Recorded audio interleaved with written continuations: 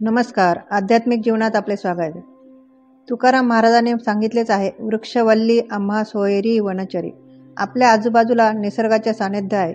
म्हणूनच आपले जीवनक्रम व्यवस्थितरित्या सुरू आहे.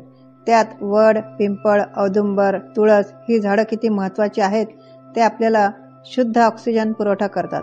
आपल्या लक्षात आलंच असेल की मी आज तुम्हाला औदुंब वृक्षाचे महत्त्व सांगणार आहे. त्यामध्ये आपण प्रथम औदुंबर वृक्षाचे आध्यात्मिक महत्त्व बघणार आहोत. प्रत्येक दत्त क्षेत्राच्या ठिकाणी औदुंबर वृक्ष असतो. जिथे औदुंबर तिथे दत्त असे समीकरणच आहे. औदुंबराच्या झाडाखाली दत्त महाराजांचा वास असतो.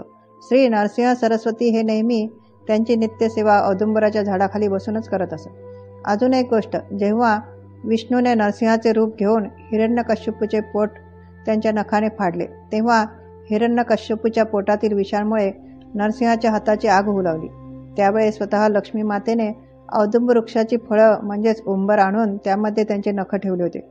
त्यामुळे त्यांच्या हाताची आग कमी झाली. त्यामुळे विष्णूने औदुंब वृक्षाला वरदान दिले की तू नेहमी फळलेला राहशील. तुला कलियुगातील कल्पवृक्ष म्हणतील. या झाडाला अकरा एकशे अकरा एक हजार अकरा अशा प्रदक्षिणा घातल्या जातात. आपल्या शक्तीनुसार आपण त्या कराव्यात. प्रदक्षिणा अगदी हळूवार घालाव्यात. त्यामुळे त्यांची आध्यात्मिक प्रगती होते. मानसिक शांती मिळते. या झाडाखाली बसून दत्त महाराजांची कुठलीही सेवा केल्यास बाहेर बाधा नाहीशी होते. ज्यांना मु मुलं नाहीत अशा महिलांनी औदुंबराची सेवा केल्यास त्यांना पुत्रप्राप्ती होते. कुष्ठरोग्यांनी या झाडाला एक लाख प्रदक्षिणा घातल्यास त्यांचा कुष्ठरोग नाहीसा होतो. तसेच लहान मुलांनी औदुंबराच्या झाडाखाली बसून प्रज्ञाविवर्धन स्तोत्र रोज म्हटल्यास त्यांची बुद्धी तल्लक होते. आंबरेश्वरला चौसष्ट योगिनी श्री नरसिंह सरस्वती महाराजांचे पूजन नेहमीच औदुंबराच्या झाडाखालीच करत असत. थोडक्यात काय? तर औदुंबराच्या झाडाखाली बसून केलेली सेवा ही लवकर फलित होते. त्याच्याखाली बसून जप रुद्र वाचन काहीही करा. त्याचे फळ अनंतपटीने मिळते. फक्त श्रद्धा ठेवून कार्य करावे. संकल्प करावा. दुसरे आयुर्वेदानुसार औदुंबर वृक्ष हा शीतल आहे.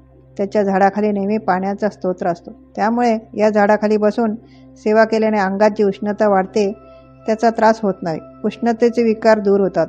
डिप्रेशनमध्ये गेलेल्या लोकांनी या झाडाखाली रोज एक तास बसल्यास त्यांना पॉझिटिव्ह एनर्जी मिळते. त्यातून ते लवकर बाहेर येतात.